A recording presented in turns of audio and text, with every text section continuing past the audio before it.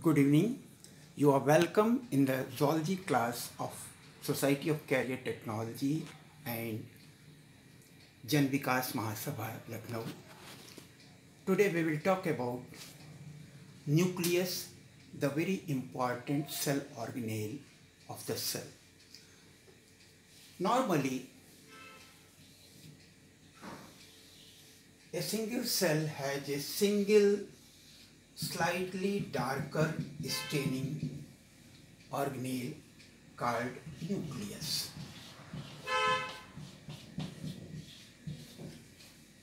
Sometimes we can use some stain for it. For example,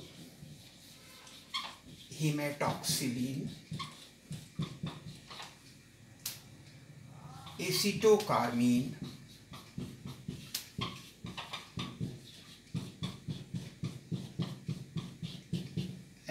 and Feulgen stain.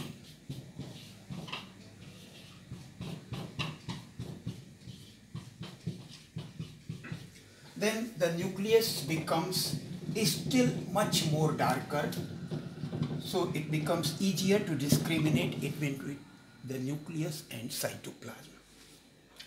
Normally in most of the cells a nuclear membrane is present. Such cells are called eukaryotes.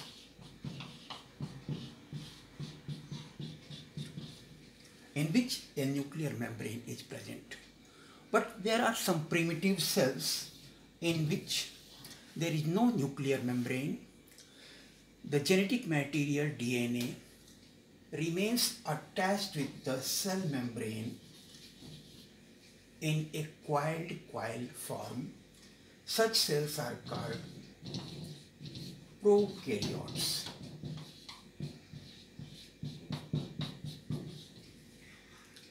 Normally, in a single cell, there is a single nucleus, but maybe sometimes more than one nucleus may be found in a single cell. And that type of thing may be of two types. Either all nuclei are of the same type, as it happens in case of a protozoan Opalina. Here there are many nuclei, but all the nuclei are of the same type. But still there is one more situation where the nuclei are of two types. One, a larger macronucleus.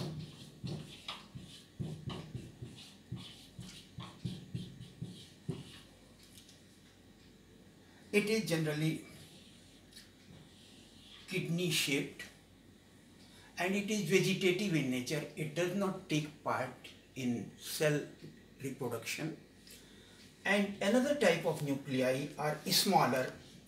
They are called micronuclei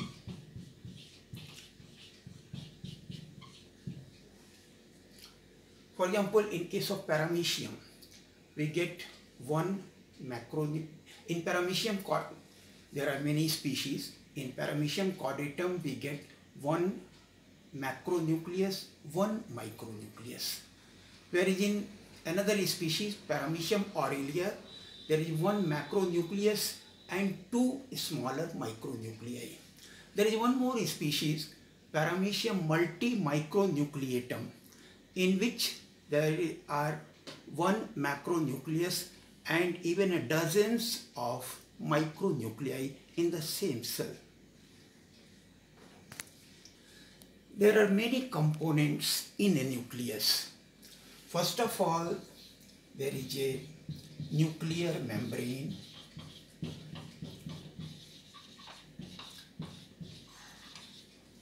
When we study by an optical microscope, there is a single nuclear membrane. But when we observe it under an electron microscope, it is a double membrane like an envelope. It is also called nuclear envelope. In between the nuclear envelope at many places there are certain pores and they are called nuclear pore complex. Then the fluid material found in nucleus is called nucleoplasm.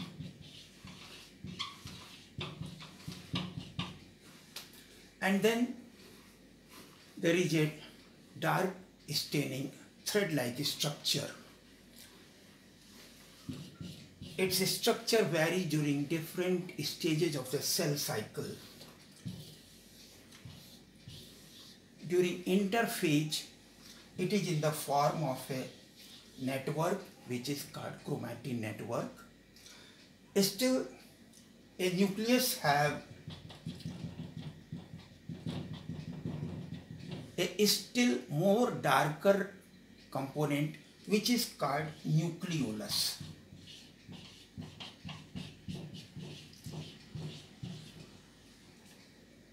There may be one or more than one nucleoli in a single nucleus. At the time of cell division, this chromatin network splits into distinct thread-like structures which are called the chromosomes.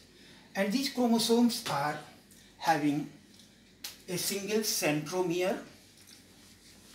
During some stages of cell division, they contain two thread-like components which are called chromatids.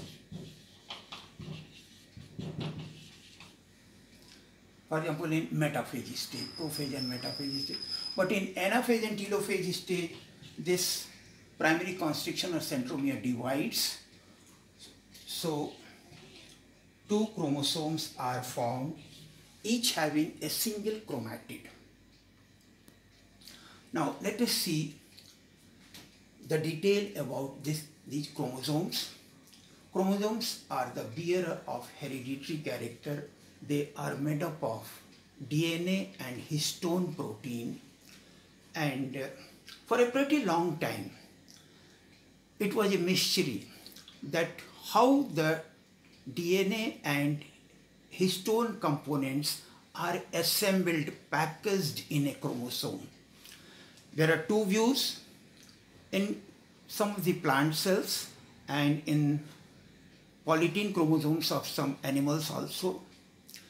Like a rope which is made up of many transversely running thread-like structures. Many DNA components may be there in a single chromatid, whereas in most of the cells, the DNA chromosome is made up of a single DNA thread. But which is coiled and this coiling has a three levels. So let us see the structure of these chromosomes in detail. So the position of uh, centromere or primary constriction may vary in a chromosome. So on the basis of location of this primary constriction, the chromosomes may be divided into four morphological types. For example, if the centromere is present just at the terminus, such chromosomes are called telocentric. If it is present near the tip, it is called acrocentric. If the centromere is present in the middle, then such chromosomes are called metacentric. And if the centromere is present slightly displaced from the middle place, such chromosomes are called submetacentric. Now, one more interesting fact is there that in at least one or maybe sometimes more than one chromosome of the complete set for example, in human being, we have 23 pairs of chromosomes. So, some of the chromosomes may have, along with this primary constriction or centromere, there may be another constriction which is called secondary constriction.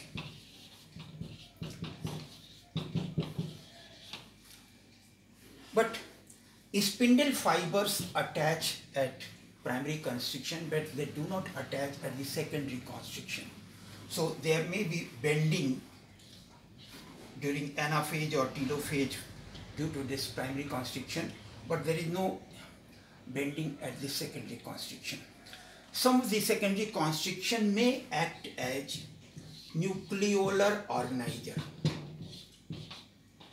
Nucleolus organizer.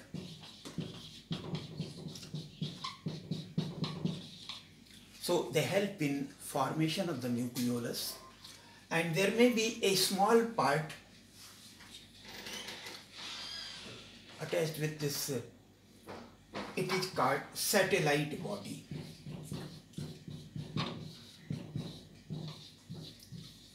So those chromosomes which have a satellite body, they are called satellite chromosome.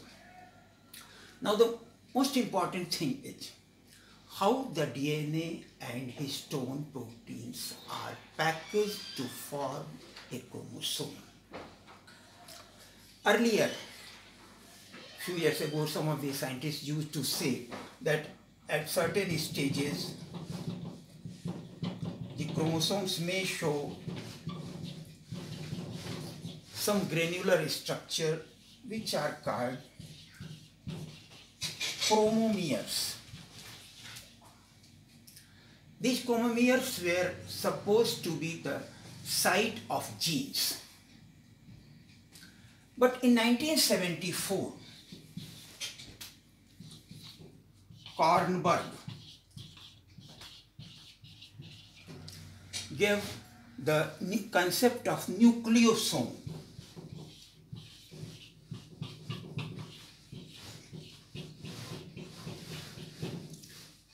He said that like a garland made up of many beads.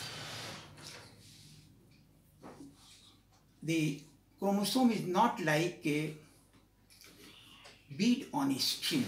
It is like a string on bead. Suppose we have some beads, but they do not have a pore through it. So how can I pass the thread or wire from through it? In such case, that thread or string may be wrapped over the bead. So here also in chromosome at certain distance there are four types of histone proteins and for each type of histone protein there are two globules. So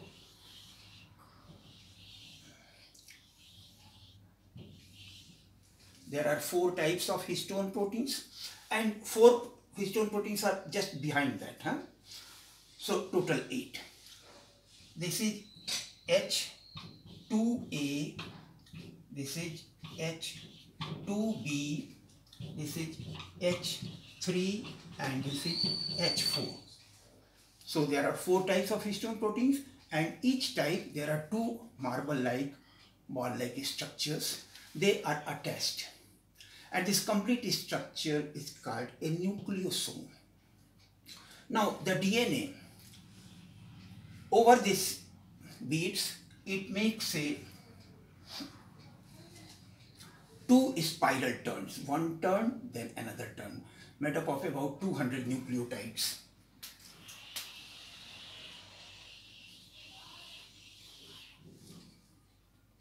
And the two ends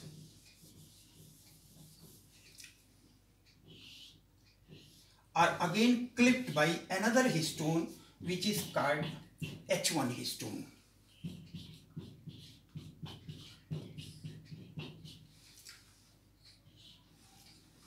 So there are four types of histones H2A, H2B, H3, H4 and each two balls and DNA is wrapped above it for two turns and again the two ends of DNA are again clamped by another H1 histone protein. And the part of DNA present in between two nucleosomes, they are called linker DNA.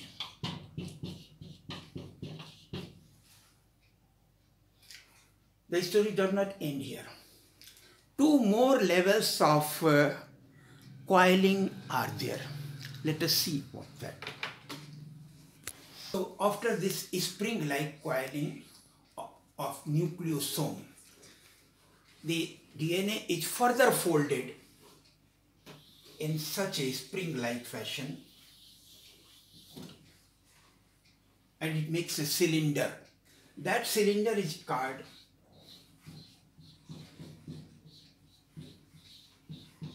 solenoid and here it, each turn of DNA there are six nucleosomes hmm? every here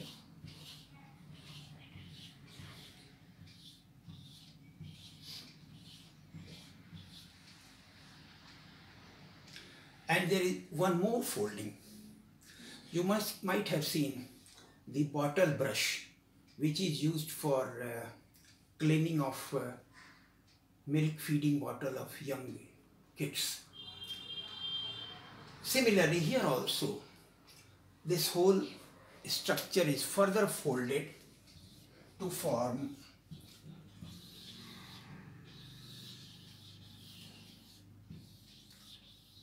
some bottle brush like structure and each is made up of the same solenoid.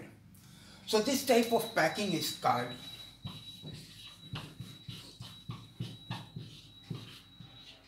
scaffold. Now, this is about brief of chromosome structure. In the nucleus, we have some nuclear pores also. And these nuclear pores can be seen two ways. Either we can see it from lateral or we can see it from the surface view. If we observe it in a surface view, we observe that there is a central plug and around that central plug we have uh, two annuli or ring. And like uh, the needles of a wheel of cycle, here also eight spokes are there. One, two, three, four, five, six, seven, eight. Connecting the central plug with the peripheral annuli. The thickness is about 80 nanometer. When we observe it from lateral side, you can see here the central plug and on the two sides this is the upper annuli, this is lower annuli space is 80 nanometer, the two nuclear membranes, and in between the nuclear membrane there is one more membrane which is called nuclear lamina. Here are actually the chromatin threads attach. And sometimes some particles may be found just at the surface. So then this is the nuclear pore complex. And last, there is one more point. In multinucleated cell, there may be two situations. One, cenocytic as in case of fungi. Here, the development starts from a single cell. The nucleus divides 1 into 2, 2 into 4, 4 into 8 and so on. Nucleus goes on dividing, but the cell does not divide no cell partitions develop. So a multinucleated structure develops. It is called a cenocytic structure. Cenocytic is found in case of fungi. In case of uh, skeletal muscles or rotifera or ascaris epidermis, we get syncytium. Actually, it is similar in structure, but the development is different. It develops from a multicellular organization Many cells were present initially, but the cell partitions dissolved. So it became like this. It is called syncytium.